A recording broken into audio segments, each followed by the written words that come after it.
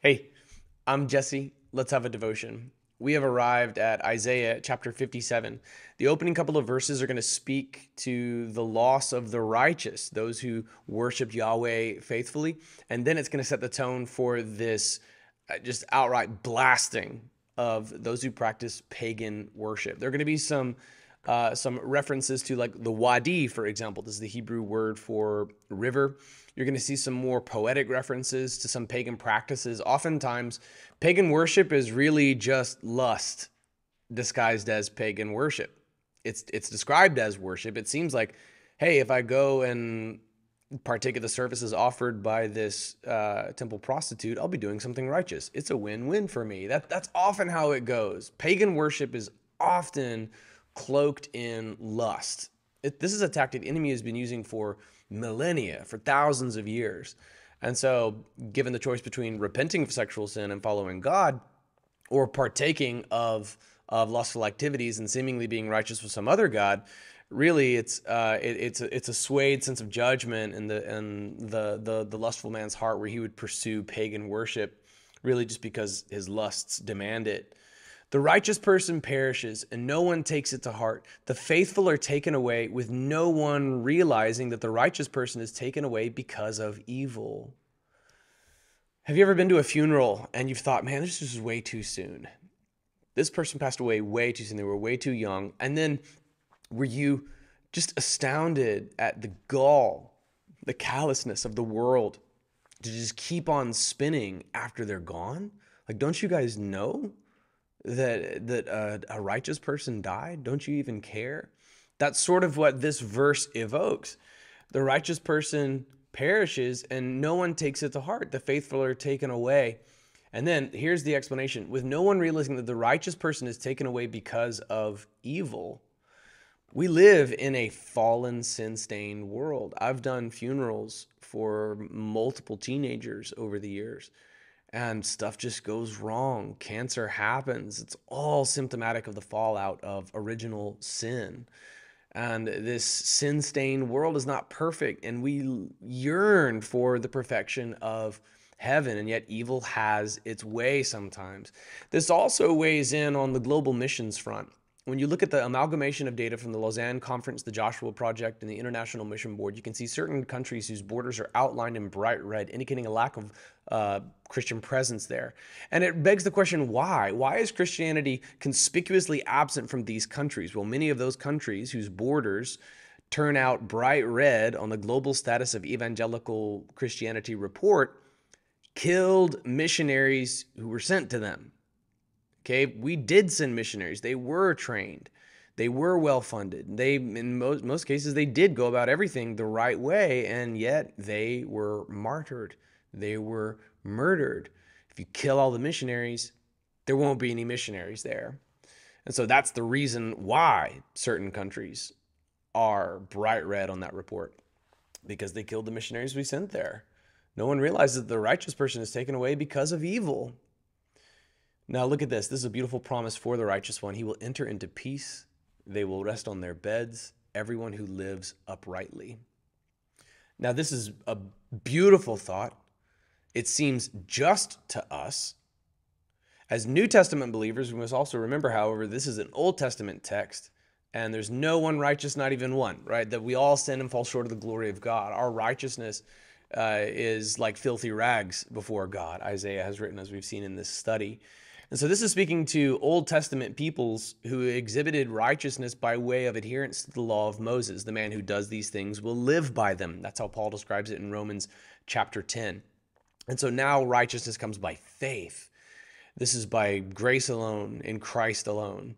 This righteousness is near you in your heart and in your mouth. If you confess with your mouth Jesus is Lord, you believe in your heart that God raised him from the dead, you will be saved. So the New Testament believer is the one who confesses that Jesus is Lord, and because of the Holy Spirit's indwelling, repents from sin. In the Old Testament, however, you are the one who lived uprightly, meaning you adhered to the law of Moses. So these opening two verses speak to the tragic loss of the righteous, and then that sets the tone for what follows. But come here, you witches' sons offspring of an adulterer and a prostitute. Who are you mocking? Who are you opening your mouth and sticking your tongue at?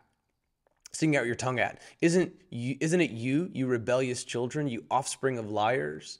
And look, here is going to describe some of the pagan practices who burn with lust among the oaks under every green tree, who slaughter children in the wadis. Remember, this is the Hebrew word for river, below the clefts of the rocks. Your portion is among the smooth stones of the wadi. Indeed, they are your lot. You have even poured out a drink offering to them. You have offered a grain offering. Should I be satisfied with these? And so, this is poetic imagery describing the fulfillment of pagan lustful acts. Uh, really, it was prostitution, but it was packaged like it was idol worship. And now God is telling them, look, this is your portion. Okay, you think of it like this way: you you you you made your bed, now you have to lie in it. Your portion is among the smooth stones of the wadi. All right, look, see, you slaughtered your children in the wadi, and now that's where your portion is. Indeed, they are your lot. Okay, this is this is the side that you've chosen. You have placed your bed on a high and lofty mountain. You also went up there to offer sacrifice. You have set up your memorial behind the door and doorpost. For away from me you stripped, went up, and made your bed wide. And you have made a bargain for yourself with them. You have loved their bed. You have gazed on their genitals. You went to the king with oil and multiplied your perfumes. You sent your envoys far away and sent them down even to Sheol. You became weary on your many journeys, but you did not say, It's hopeless. You found a renewal of your strength, therefore you did not grow weak. Who was it you dreaded and feared so that you lied and didn't remember me or take it to heart? I have kept silent for a long time, haven't I? So you do not fear me. I will announce your righteousness and your works, they will not profit you. When you cry out, let your collection of idols rescue you. The wind will carry all of them off, a breath will take them away. But whoever takes refuge in me will inherit the land and possess my holy mountain. So, similar to Ezekiel, Isaiah has used shocking language here, but it is not nearly as shocking as the acts themselves were. In fact, this is very couthful language compared to what could have been.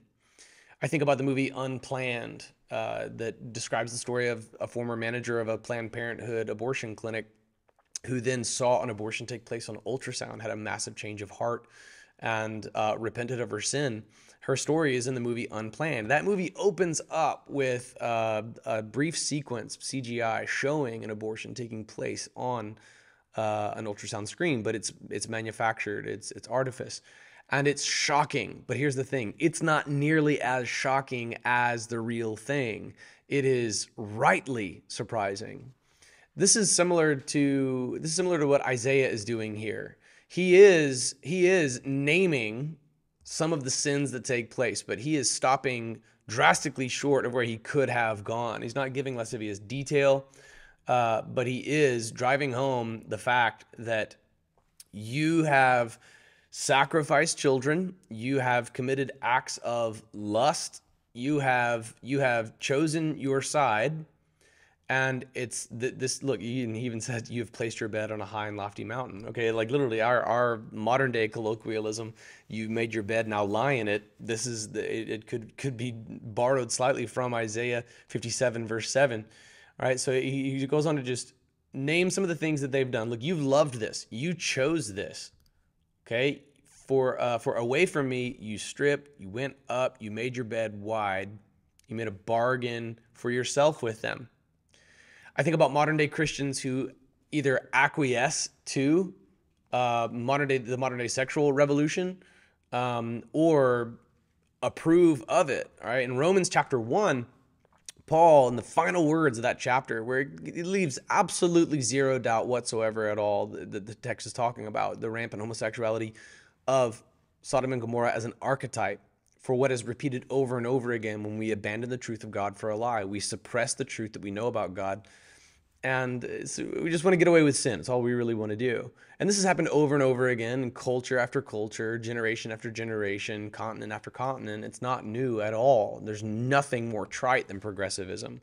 It's just the classic slippery slope of human depravity. It is the most predictable thing in the world. And at the very end of Romans chapter 1, Paul chastises even believers who approve of these things.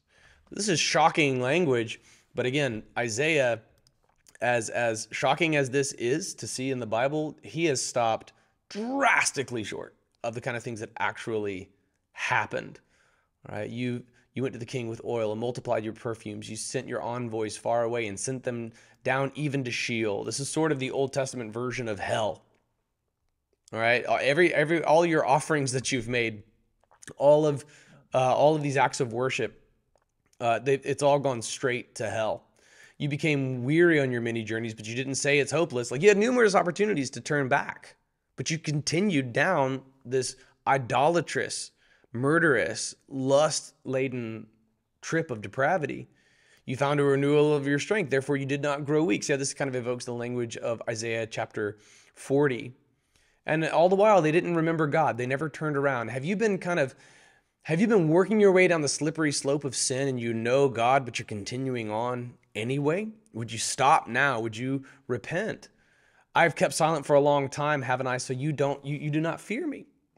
God had not spoken for a while. And so they said, Oh, well, God's not watching me. And this is futile. God saw all of it. I will announce your righteousness. That sounds nice. No, no one's righteous, not even one. And your works. All right, if you're very proud of your own righteousness, watch out. They will not profit you.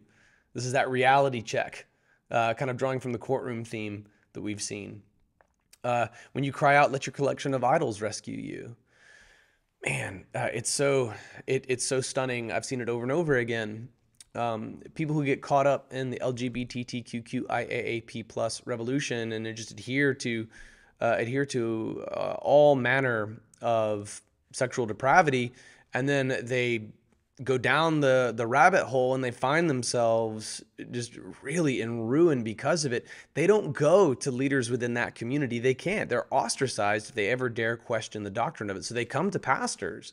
Pastors know more about the fallout than the leaders of the lgbtq community do because they can't go to you. You're not a safe space. Ironically you're not tolerant you're not open-minded enough and as pastors, they, they come to us because they're like, look, I've tried this and it's ruining my life.